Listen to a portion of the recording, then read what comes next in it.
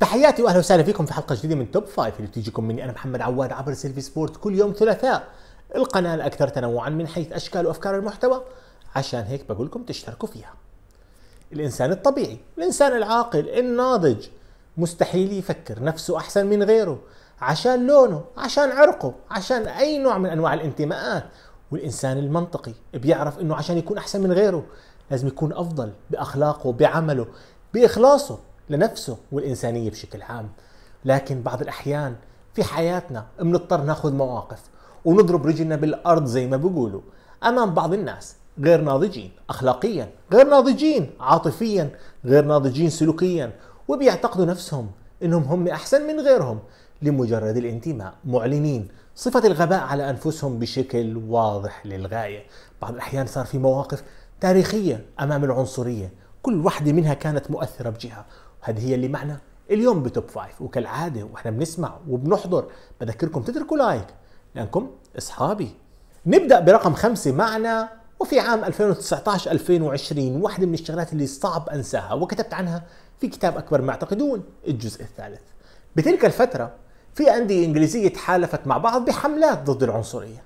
ونادي ويست بروميتش نشر صورة بيعلن فيه دعمه للحملات اللي واقفة بوجه العنصرية. ثم جاء أحد المشجعين وقال لهم والله إنكم مثيرين للشفقة بهاي الأفكار أنا حلغي تذكرتي السنوية معكم. وكأنه بحملهم جميلة لأنهم بيكونوا ضد العنصرية. رد ويست بروميتش ما كان رد تجاري ما كان رد خلينا نفهم والله شو مشكلتك وبنتفاهم وتعال نقنعك. فجاوبوه بكلمتين بسيطات للغاية. غير مأسوف عليك الله معك قلتك أحسن. وهذا الجواب كان مهم لأنه كان الموقف الأوضح لنادي تجاه بعض الجماهير العنصرية بال social media. فتم تخليده بأنه ذلك المشجع غير مأسوف عليه. ننتقل لرقم أربعة ودوري الأبطال 2021 وأعتقد جميعكم بذكروه مباراة بين باريس سان جيرمان الفرنسي وبشاك شهير التركي في الجولة الأخيرة من دوري المجموعات في دوري أبطال أوروبا ل 2021 الحكم الرابع الروماني بيوصف مساعد مدرب بشاك شهير ويبو بأنه أسود. الحكم اللي اسمه كولتسكو ما توقع ذلك ردة الفعل القوية من اللاعبين. نجوم سان جيرمان ونجوم بشاك شهير بيتفقوا على شيء. لا تستحق مباراة أن تدار تحت قيادة مثل هيك حكم ولو كان رابع. انسحبوا بالنجوم بالرواتب العالية. نيمار إمبابي الكل ما بده يلعب. وكان في تصريح شهير لإمبابي. لا يمكن لعب كرة القدم بوجود حكم من هذا النوع. أعيدت المباراة في اليوم التالي لكن أوصلت رسالة واضحة. ما بنقبل بالعنصرية ولو كانت بتلوين البشر. وننتقل للموقف الثالث 26 أغسطس 2016 موقف مهم جدا. قام فيه لاعب برياضة مش مشهورة عندنا عربيا لكن شفنا حركته في كل مكان. لاعب كرة قدم أمريكية اسمه كولين كابرنيك بيرفض تماما. يوقف للنشيد الوطني تاع بلاده أمريكا. تم انتقاده كثير من جمهوريين وكان على رأسهم ترامب خلال حملته الانتخابية الأولى. وكان إنه هذا يدور له على بلد ثاني يروح هذا مش أمريكي. لكنه أصر. في المرة الثانية نزل على ركبته. بلقطة. كلنا بنعرفها وشفناها بتنتشر بكرة القدم وأصبحت رمز لإعلان الموقف ضد العنصرية. الرجل كان تصريحه حول هذا الجلوس وحول عدم ترديد النشيد الوطني. كيف أردد نشيد وطني لدولة؟ تحمي اعتداءات واضحة وصريحة ضد السود. كيف بقدر أوقف وأهتف لدولة عنصرية ضد مواطنيها؟ وكان وقتها السبب بموقفه إنه ارتفعت عدد جرائم الشرطة ضد المواطنين الأمريكان. من أصول أفريقية لقطة انتشرت وحتى اليوم مستمرة في كرة القدم من أكثر المواقف المؤثرة في مسألة معاداة ومناهضة العنصرية. وفي موسم 2013 2014 في الدوري الإسباني في الإياب تقريبا في شهر إبريل كنا بنتكلم عن مباراة بين فياريال وبرشلونة. النتيجة 2-0 لفياريال. الأمور تمام. برشلونة مسجل الهدف الأول 2-1 ركله ركنيه بروح يلعبها دانيال ألفيس. وفجأة بيلقي أحد المشجعين موزه عليه وبدل ما ألبس يعترض ويحتاج قال له هذه موزة باكلها أنا مش قرد عادي. فتحها وأكلها وكمل مباراته وأعطته طاقة يسجل أو يتسبب خلينا نحكيها بالدقة بهدف التعادل لأنه جاء من هدف عكسي. ثم استطاع برشلونة يقلب النتيجة ويفوز 3-2 عبر ليونيل ميسي. كان انقلاب تاريخي ما خلصت القصة لهون. خلصت المباراة لكن الموزة ما خلصت. الجميع في البرازيل المشاهير النجوم.